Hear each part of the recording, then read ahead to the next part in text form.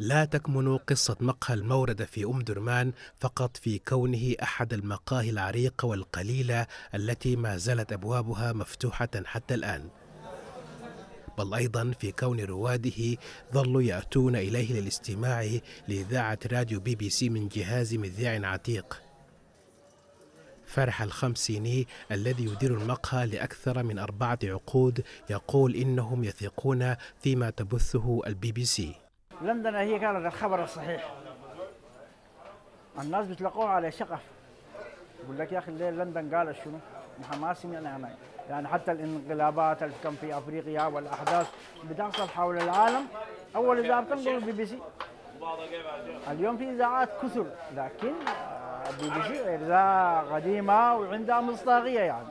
صراحة جد يعني ما تسمع من البي بي سي خلاص على إنه ده السمع تماما. بالنسبة لداود الخليفة وهو من رواد المقهى فإن إذاعة بي بي سي كانت بمثابة منتدى لهم ونافذة على العالم في وقت لم تكن فيها وسائل التواصل الاجتماعي موجودة. بي بي سي كان عندها دور كبير جدا في تثقيف الناس وتعليم اللغة الإنجليزية والبرامج الأدبية والفنية والرياضية وكله فمعظم الناس الما كان تعليمهم ضعيف شوية. بيعتمدوا على الإذاعة.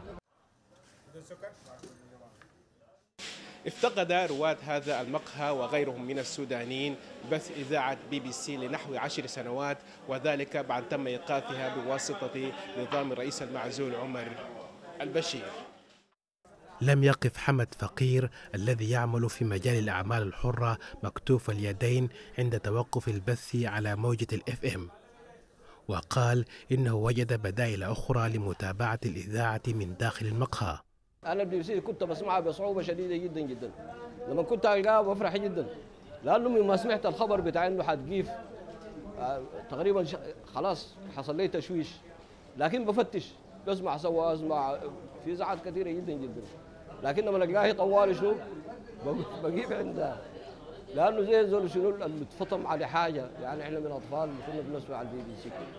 واشتهرت مدينة أم درمان والتي يوجد بها مقر الإذاعة السودانية بمقاهيها القديمة التي كانت قبلة للمفكرين والأدباء وعامة الناس.